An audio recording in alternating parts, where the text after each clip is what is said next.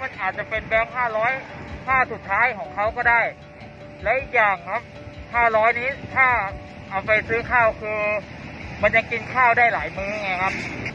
ที่เราอยากสบายใจเราอยากให้เจ้าของมารับคืนมากกว่าครับ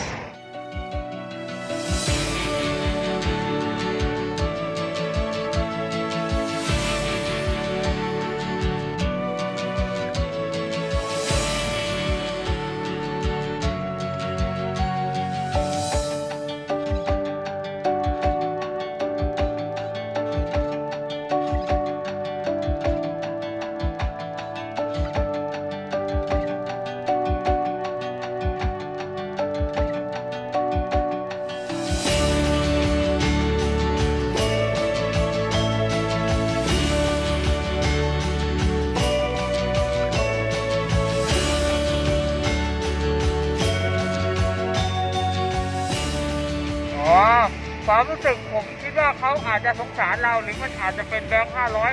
ค่าสุดท้ายของเขาก็ได้ และอีกอย่างครับห้าร้อยนี้ถ้าเอาไปซื้อข้าวคือ มันจะกินข้าวได้หลายมื้อไงครับ และอีกอย่างพ่อแม่ผมเขาบอกว่าคดกินไม่นานซื้อกินไม่หมด แล้วด้วยความที่เราอยากสบายใจเราอยากให้เจ้าของมารับคืนมากกว่าครับตอนนี้มีคน ติดต่อตอนนี้ยังไม่มีคนติดต่อครับ แต่คาดว่า